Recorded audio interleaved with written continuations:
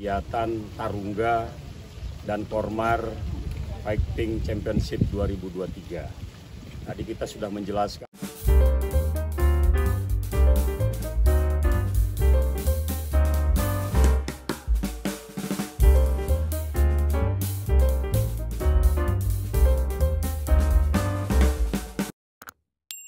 rules atau aturan-aturan seperti apa yang ditetapkan dalam Tarungga? Dipersilakan.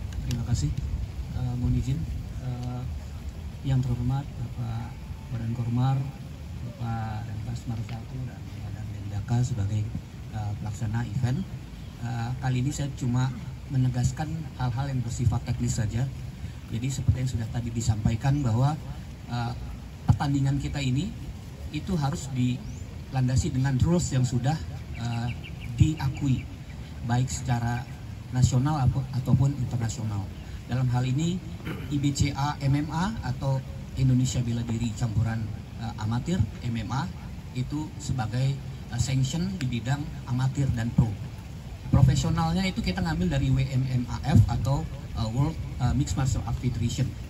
Jadi dalam dalam kategori-kategori ini akan sama seperti MMA lainnya, ada divisi-divisi berat badan. Uh, nanti semua akan kita uh, cocokkan. Jadi secara uh, tontonan menarik. Jadi tidak ada yang menjomplang, skillnya jomplang gitu. Harus sama. Jadi menjadi suatu tontonan yang menarik. Juga uh, kategori amatir dan pro dibedakan dengan rulesnya. Rules masing-masing dan uh, apa perangkat-perangkat keselamatannya juga berbeda. Uh, IBCA ini tergabung dalam uh, maksudnya bukan tergabung, diakui di Indonesia di bawah KONI. Jadi secara uh, resmi kita sudah diakui uh, pelaksanaan acaranya ini oleh KONI juga. Lalu perangkat-perangkat pertandingan nanti akan disiapkan oleh IBCA itu sendiri. Jadi uh, secara netralitas sudah tidak bisa diragukan lagi karena para perangkat ini mulai dari juri, uh, wasit, inspektur pertandingan mereka semua mempunyai sertifikasi atau license uh, nasional dan internasional. Jadi mudah-mudahan hasil-hasil yang nanti uh, uh, kita dapati di final acara itu sudah hasil yang sesuai dan uh, netralitasnya tidak tidak diragukan lagi. Mungkin itu saja. Terima kasih bapak-bapak waktunya rekan-rekan uh, media dan prestasi kesatuan. Mohon izin.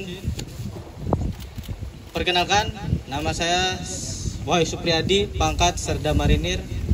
Kami dinas di Batalion Kapal 2 Marinir Pasmar 2. Prestasi kami yang sudah diraih di kejuaraan Muay Thai, Kejur Prof, Kejurnas dan Wusu di Kejur Prof Jawa Timur. Terima kasih. Izin selamat sore, izin memperkenalkan diri. Nama Kisbolo, pangkat Pratumar, Kesatuan Batalion Howitzer 2 Marinir. Oh, untuk prestasi yang terakhir kami mengikuti kejurnas babak kualifikasi PON 2024 dan alhamdulillah kami lolos di kelas seni Muay Boran. Itu saja. Terima kasih. Selamat sore Unjin. Mohon memperkenalkan diri. Nama Lang Atala, pangkat Pratu Marinir. Dari Batalion Roket 2 Marinir. Prestasi yang sudah kami capai Kejur Prof Muay Thai, Kejurnas Kickboxing, dan Kejur Prof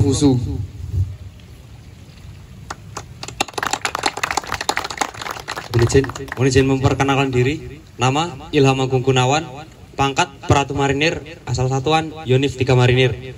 Untuk prestasi yang pernah kami gapai, juara satu Kejur Prof MMA IBCMA di Magetan, juara satu Kejur Prof Wusu 2022 dan juara satu Muay Thai Kejur Prof tahun 2021. Terima kasih. Selamat sore Komandan, mohon izin. Memperkenalkan diri nama Serda Marinir Andre Pratama Yuda, asal satuan dari Mako. Kormar ya. Siap, menit. Dari apa? Dari Spotmar. Siap, dari Spotmar. Kejuaraannya pernah kami ikuti kickboxing Rocky Series 2023. Gitu aja. Murjin Komandan, Murjin memperkenalkan diri, nama Raihan Soki Amri, pangkat Sersan 2 Marinir NDP 12619, asal satuan Batalion Infanteri 8 Marinir, prestasi yang pernah diraih pas terakhir kejuaraan nasional PBJI Jiu-Jitsu di Kelapa Gading tahun 2023. Perwakilan Sumatera, Pak. Tangkahan Lagan.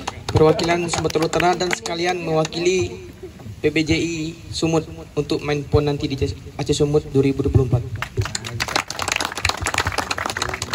Izin Komandan, izin memperkenalkan diri. Nama Muhammad Adi Putra Pratama, pangkat Sersan 2 Marinir, asal Batalion Yonif 10 Marinir, Batam. Untuk prestasi yang pernah kami raih, juara satu kejuaraan nasional Piala Erlangga Hartarto Kickboxing, juara satu Porprov Usu Sanda kelas 52 kg. Terima kasih, izin. Komandan, perkenalkan nama saya Karso, satuan dari Lanmar Jakarta. Prestasi yang pernah saya uh, ikuti dulu saya mengikuti event-event di luar yaitu baik uh, Muay Thai, uh, amatir dan pro amatir. Uh, terakhir saya mengikuti kejuaraan-kejuaraan di boxing uh, di tinju prof. Terima kasih. Izin Komandan, izin memperkenalkan diri. Nama Afif Ade Pratama, satuan dari Yonif Marinir, pangkat Serda Marinir. Untuk prestasi yang kami dapat, sementara menjen kami belum pernah mengikuti. Kami sedang berusaha untuk mencapai prestasi. Terima kasih.